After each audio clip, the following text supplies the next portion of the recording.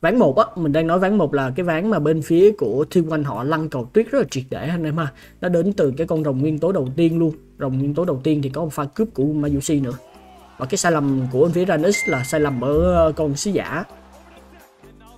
Con sứ giả đầu tiên á. Pha này thì gây ra rất là hay ha. Một pha hỏa lực yểm trợ để lấy cái khiên, lấy cái siêu. Sau đó đầu tư thêm cả một cái bắt tay nữa. Tạo ra tình huống tấn công này. nhưng mà bị một cái là như thế này nè pha này nếu như mà Honor đầu tư tốc biến sớm.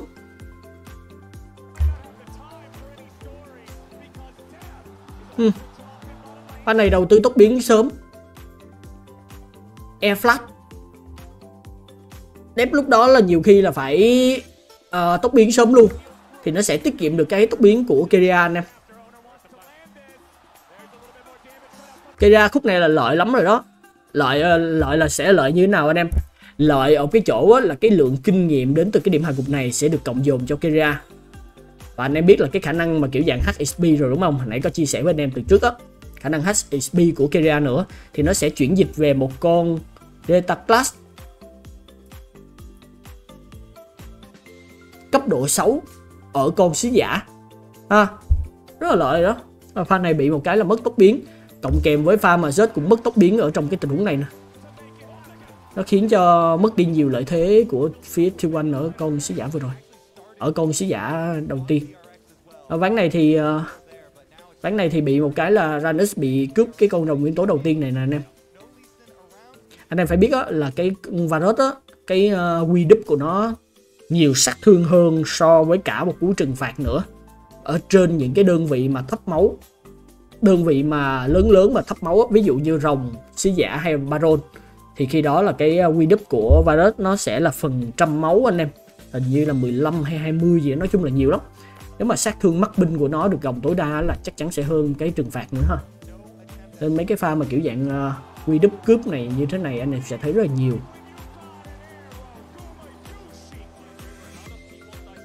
Gì ba phần trăm ông nội ba phần trăm có chút xíu ông nội. Nhiều lắm.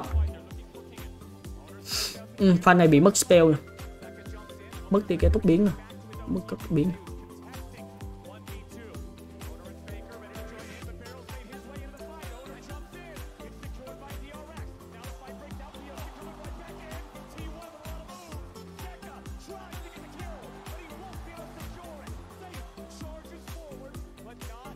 Nếu không có tốc biến là có thêm được cả nhiều điểm hạ gục rồi đó.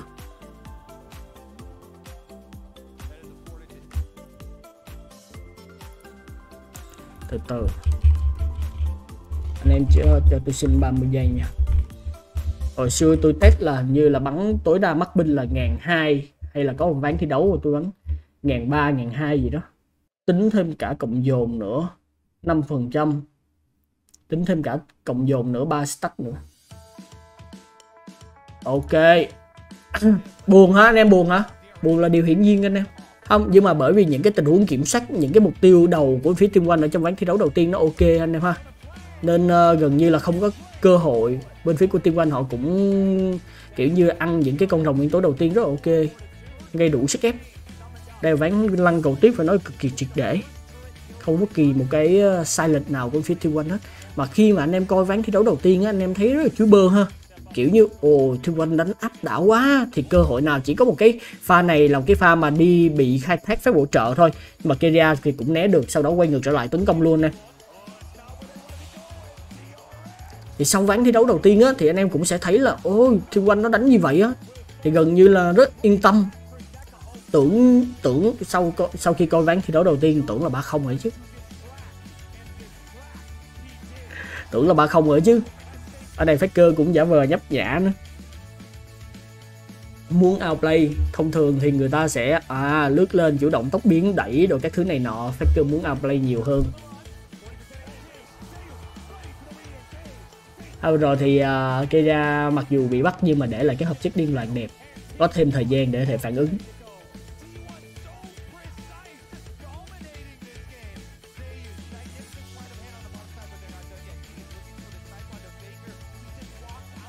Hồi pha, pha này factor không chết nha. Xỉa xong một lướt được nha.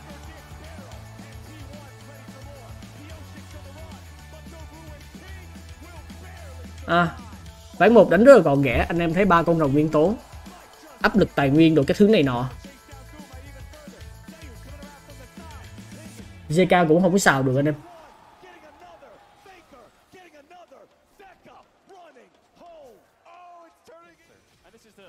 Mà anh em thấy bị là con Heminger á, đáng lý ra sau ván thi đấu đầu tiên á, thì T1 cũng như Benji nên biết là cái tác động đến từ con Heminger này nó chỉ thiên về giai đoạn đầu trận thôi. Anh em sẽ thấy trong ván thi đấu này đặc biệt là cái thời điểm mà cấp độ 4, cấp độ 5 của Heminger á nó nó bị phế lắm. Nó đi tới đi lui nó không có được farm nó không có được đánh cái đồ có nội tại thêm tiền. Kiểu dạng nó cứ đi tới đi lui đi tới đi lui để có thể kiểm soát đó anh em. Chứ mà nó không có gia tăng thêm cái sức mạnh nhiều và vô combat thì cái đóng góp của nó cũng không thực sự là đáng kể nữa anh em. Ha. Và tôi cứ ngỡ như sau ván thi đấu đầu tiên thì anh em sẽ uh, bên phía của T1 thì cũng sẽ thấy là cái tác động của Heminger nó sẽ bị giảm. Thì lúc đó chỉ cần cấm con Ash thôi thì cứ để hở ra Heminger ha.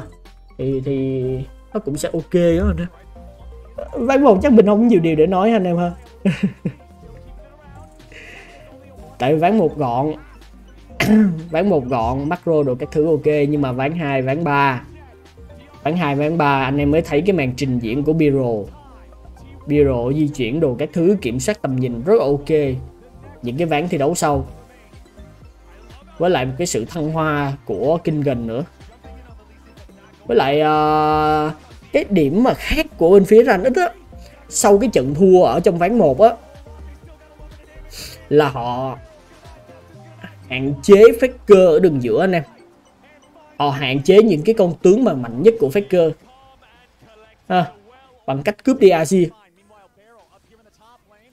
vẫn sẽ cướp đi Azi anh em ha. Nà ván này nè. Ván này kinh gần đánh ok lắm luôn á.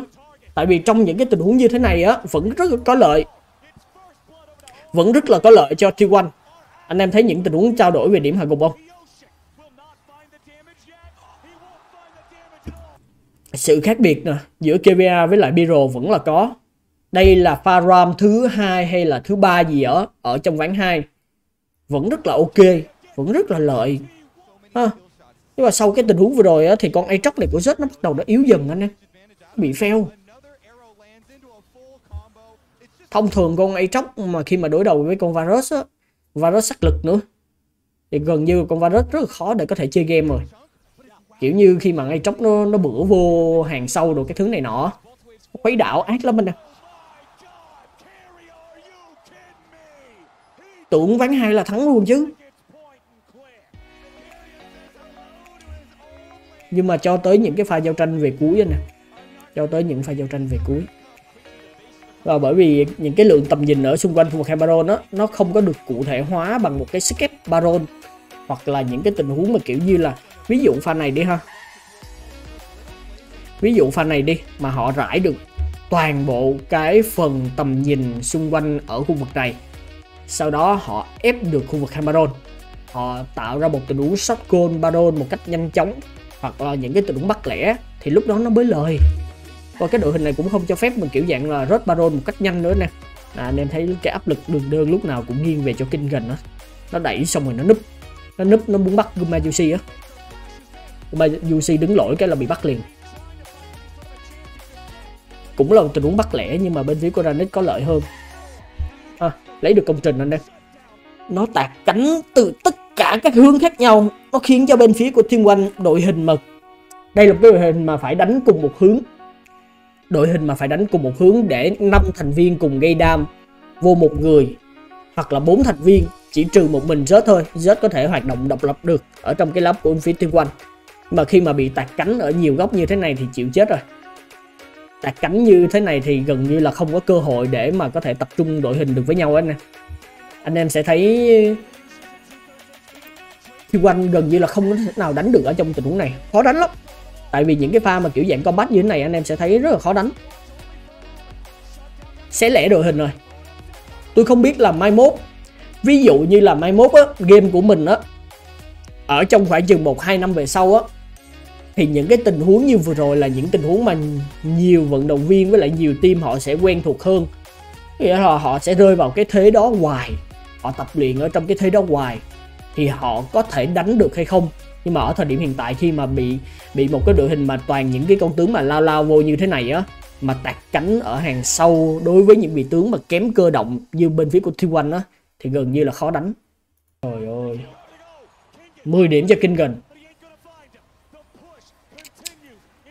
Nói gì nữa bây giờ? Cái này Honor muốn tẩy lính đó chứ. Lên tẩy lính đó. Bên kia đánh đâu cần lính đâu.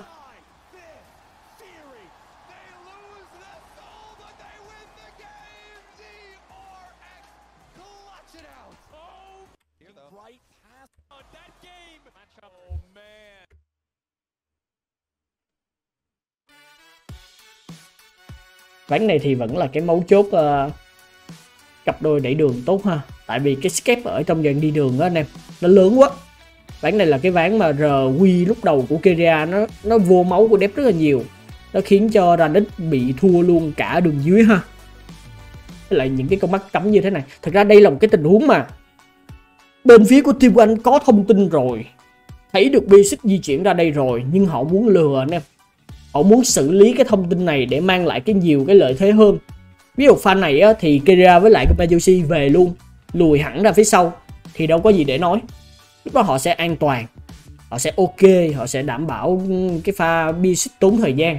Lúc đó coi như là họ được một đi ha họ được lời cái thời gian của Bisic ha. Nhưng mà pha này họ muốn nhiều hơn. Pha này họ muốn nhiều hơn. Pha này họ muốn phản găng anh em thấy là Honor bỏ luôn nè. Bỏ luôn con bùa đỏ đang ăn bùa đỏ chạy thẳng xuống đường dưới luôn. Họ không muốn một, họ muốn ba. Họ muốn được nhiều hơn anh em. Thì đó là cái tình huống xử lý thông tin thôi. Nè, nhấp lên cái nè, nhấp lên cái nè, kiểu như biết rồi nhưng mà nhấp lên cái nè, chuẩn bị vô cái thế đánh rồi. Nhưng mà kia ra kia ra đẩy cái linh giáp vô cho Gumayushi là ngon rồi. Nhiều khi là đẩy kịp nha, xong rồi né nha. Né qua phía bên đây không bị làm choáng nha. Quay ngược trở lại trả đam nha tại Majushi nó bị uh, nó bị ấy á chứ. Ừ đép không thanh tẩy ờ, cái ờ, uh, kiệt thiêu đốt nữa. À, pha này hai bên có lỗi chứ. Còn nếu như mà mắc binh nhất của của thiên quanh đó là họ được lời ở trong tình huống đó luôn rồi anh em. Họ là vô hai đánh ba xong rồi có pha phản găng của honor nữa muốn hai điểm hạ gục ít nhất là nếu như đánh đúng á, là vô được cái thế hai điểm hạ gục cho thiên quanh đó chứ.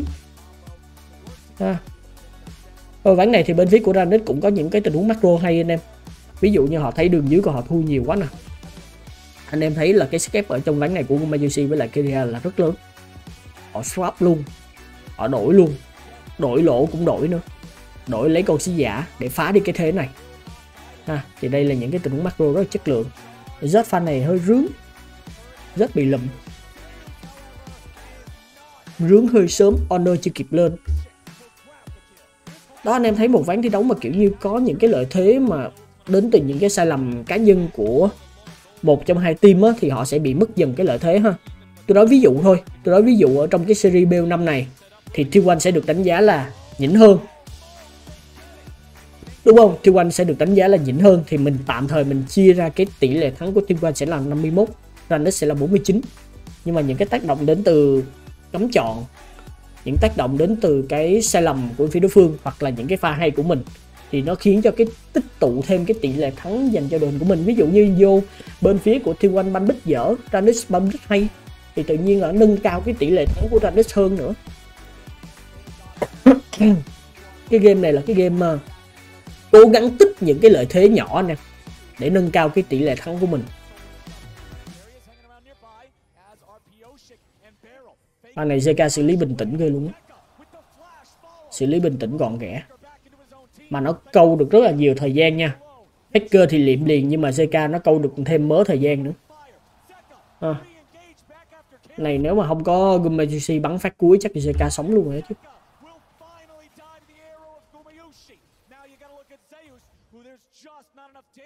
JK chọn Akali mà anh em. Nãy phỏng vấn thấy chọn Akali mà.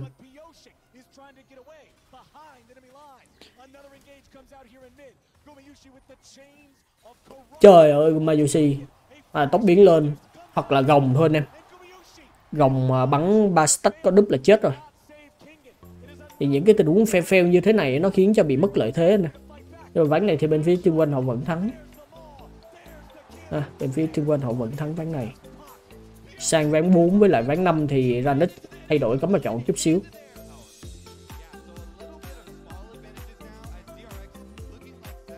Gồng cũng đổi mạng hả?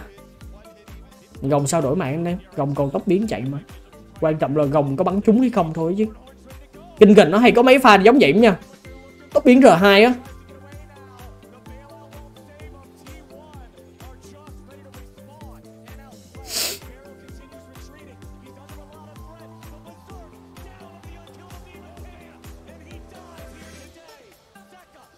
Thì flash lên thì chắc chắn đổi mạng rồi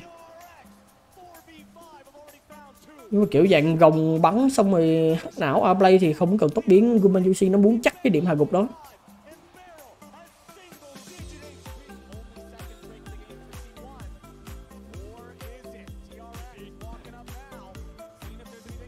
À, bị cái là cái uh, build năm này Biro nó có mấy cái pha mà thoát chết. Ác thật sự. Pha vừa rồi nó đâu chết đâu. Với lại cái ván năm nữa. Tháng năm uh, khi mà nó chơi con ba anh em. Nó phay chết đồ các thứ này nọ. Mà đâu chết đâu. Phát về với chấm máu. Anh này honor bị xào. Với có chút lợi thế đường giữa xong cái honor bị xào.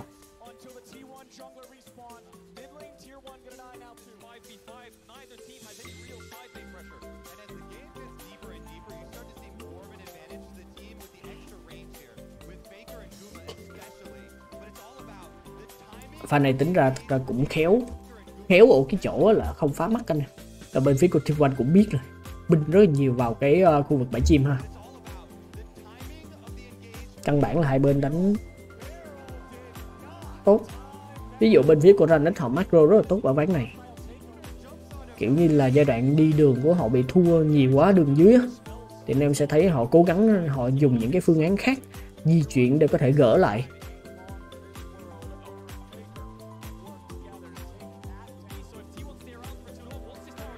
Hình như là ván này ra cách là lần thứ hai chơi của Zed đúng không?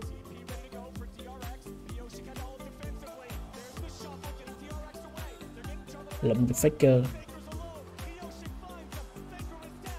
Pha này phải đến mấy cái tình huống cúp baron này nè. Cúp baron nó mới mấu chốt.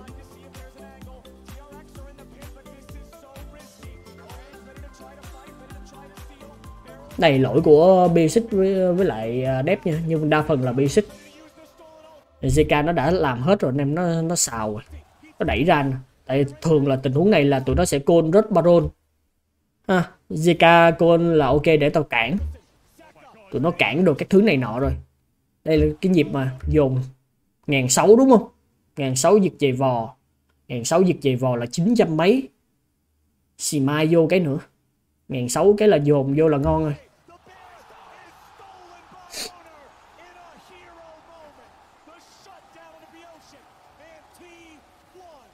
Không biết mấy team khác như thế nào chứ để ý thường là mấy pha đó là uh, na tù sách na tù sách vô đúng chữ sách là simai vô.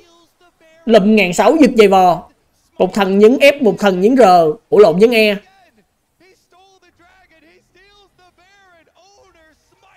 ngon rồi chứ. Này biến về trên mắt ha. Lụm luôn.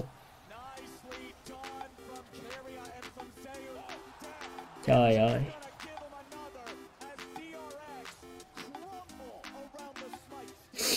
JK hả? JK đánh ờ, uh, 9 điểm nha. Mặc dù không có mấy cái pha mà kiểu dạng gánh tim Nhưng mà JK đánh rất là tốt nha. Áp lực đi đường đồ các thứ landing đồ các thứ vẫn rất là bơ Không có mấy pha mà xào xào như là trận Genji. Và đánh vẫn rất ok luôn á.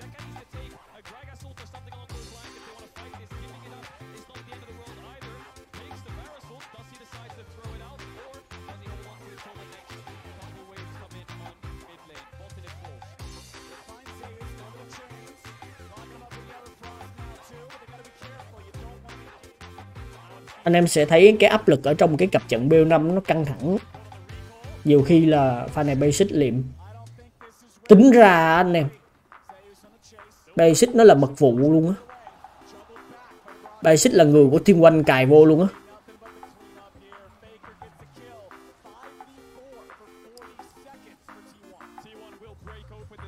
Những cái những cái ván thua, hoặc thậm chí là những ván thắng của phía Ranus đều có dấu ấn của Bisic bảo sao? Bảo sao cái khúc cuối? Từ từ, xin phép anh em ha.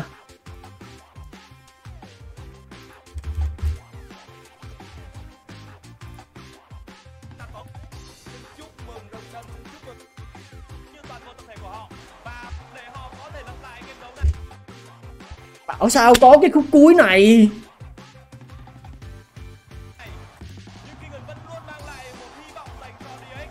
Lúc ôm á, đang chuẩn bị nói nữa xin lỗi người anh em, tôi đã cố gắng hết sức rồi. Đó, tính nói như vậy nhưng mà bị sợ, bị lộ. Bị sợ, bị lộ á chứ.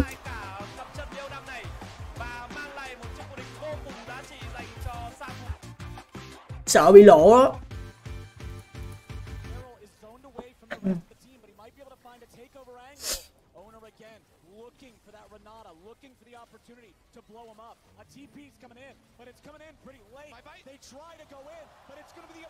Đây rồng gió ha map rồng gió ha. Ồ tràn lên ác thật sự. Không mà đúng theo cái chia sẻ của hai team á nè thì ra đích á họ đánh rất là tập trung. Ở giai đoạn về cuối giai đoạn đi đường của họ cũng đánh tốt nữa nha. Họ đi đường không có thua đâu. Mà cơ bị xào cc nhiều quá. Nhưng mà JK chống chịu Baron, cái bị Baron nhổ chết. Pha này cướp nữa đúng không? Ồ, vô thế dồn dậu luôn rồi. Kinh gần phải kinh gần đánh đi ra phải vô đây che chứ, che cho bộ chứ. Kinh gần pha này đứng mình nó hơi fail.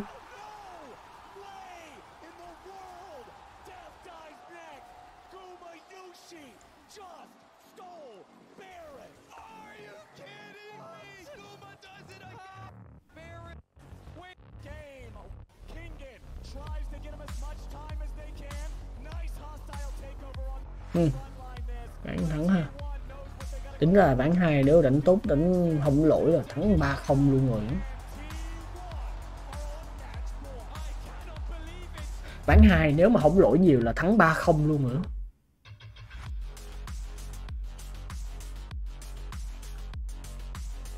Che gì anh hả? Pha đấy ăn được tóc được rồi, tóc lên. Không, kinh gần nó phải đứng cùng với bồ.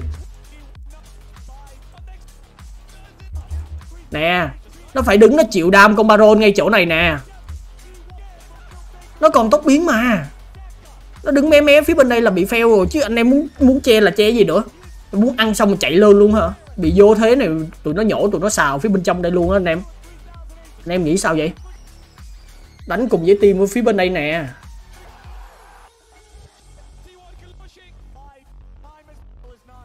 Nếu ván hai thắng là ba không rồi chứ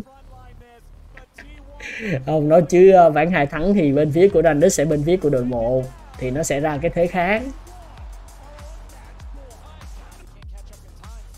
ôi, kinh gần đánh pha này lại hay nữa. Pha này che điểm yếu nè. Chặt chặt. Vô vô, che che che che. Chặt. Chặt. Chặt. Trời ơi. Thật sự.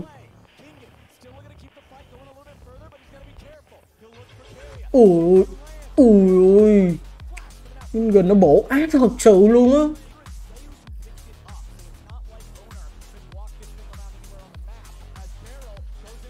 Biro đẩy pha này hay ha QR ha. Nè. Wow, anh em nhìn nó nè. Đó. Cái mẫu chốt á là sử dụng e lách cái đúp. Nè anh em thấy nè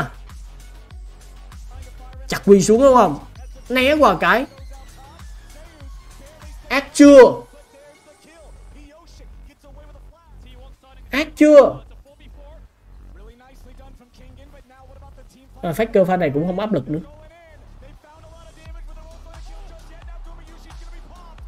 Vô vào được cái nỏ tự thủ của Depp à. tại vì sao con Varus nó mạnh đó anh em? Varus nó mạnh đó là bởi vì nó là cái con tướng mà lên được đồ phòng ngự. Ha và bên cạnh đó thì cái dàn đi đường của nó khỏe sải tay dài khả năng dẫn lính tốt đến từ cái nội tài. À, và mà khi mà có năng lượng được đó, đặc biệt là Varus uh, sát lực thì đi đường siêu mạnh luôn. Và Rod tốc độ đánh thì đi đường còn phải đánh tay chứ còn Varus sát lực thì đi đường siêu mạnh luôn. Mana nhiều spam kỹ năng từ xa phá quay lính không có không có thể nào tích được quay đai với lại con Varus khó à, tại vì nó phá quay lính từ xa anh em. Với lại à, thêm vào nữa là nó lên được món trang bị phòng ngự. Đó là nọ tử thủ. À, đao tím được lên thậm chí nếu như mà áp lực nhiều có thể lên đao tím món 2 à, ờ, thường tụi nó sẽ lên cái cuồng đao. Nhưng mà tụi nó lên những cái món trang bị đó thì con virus nó vẫn mạnh. Thường là những con tướng xạ thủ chí mạng khác á thì khi mà lên đao tím á, thì nó sẽ bị giảm sức mạnh đúng không? Nó sẽ bị chậm ngưỡng sức mạnh và đối với virus thì nó không anh em. Lên theo cái kiểu đó nó vẫn khỏe. À, thì về mặt chuyên môn thì nó sẽ là như vậy anh em ha.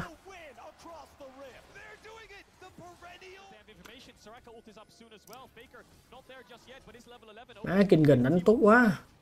Cấp độ 11 2R rồi. À, Bi xích ván này cũng đánh tốt nữa em. Có mấy cái pha mà rải R Các thứ. Anh này ăn được con sứ giả nữa chứ. Kinh gần nó bổ à, rồi Q3 kết hợp với tốc biến rồi Anh này bị mất thế luôn à. Bên phía của Ranhit cứ đánh hướng lên trên thôi. Dứt điểm dần dần đánh hướng lên trên rồi các thứ này nọ. Trời ơi. Lùa vô gọng lùa vô dậu luôn. Anh này đánh giao tranh 4 năm nha. 4 đến 5 á.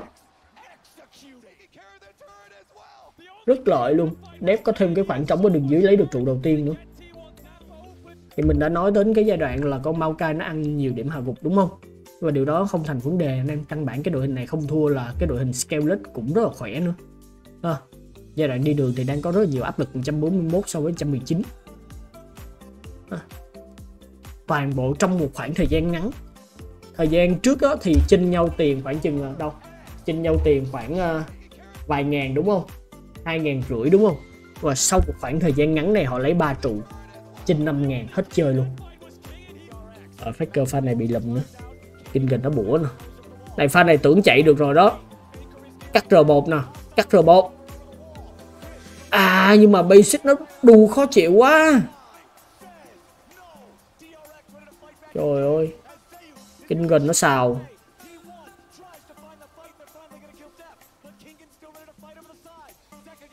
Trời ơi bắt tay hay quá. Kinh gần nó xào ở phía sau nữa.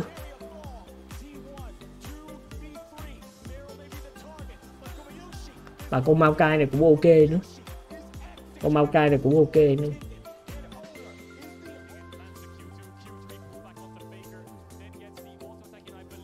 À, đã chóc khỏe quá ha.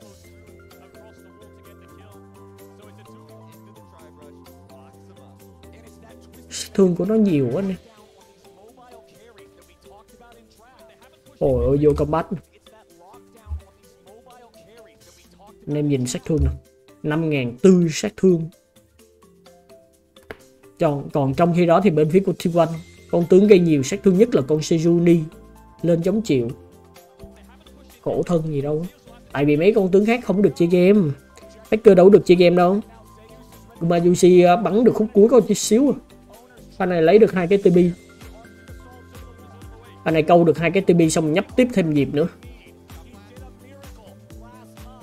Mình kinh gần nó lên, nó che hết. Trời. Rồi, đầu tư thêm cả cái phân chia thiên hạ nữa.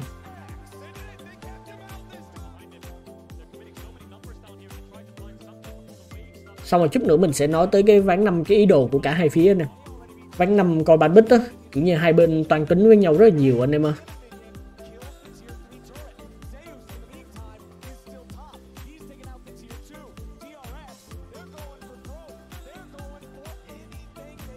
À, ván này đi đến với hồi kết rồi. Sau mấy cái pha mà kiểu dạng BK nhỏ lẻ ở đường trên đó để hở ra con quái vật. Aatrox ở đường trên rồi. Đỡ không nổi. Đẩy lẻ cũng thua đẩy lẽ cũng thua ha. Anh em thấy Faker bất lực như thế nào nữa trong cái pha mà truy đuổi JK á kèo mà phiêu ra với lại uh, Aatrox là thua rồi. Rất thua rồi. Gần như bị bất lực luôn mà.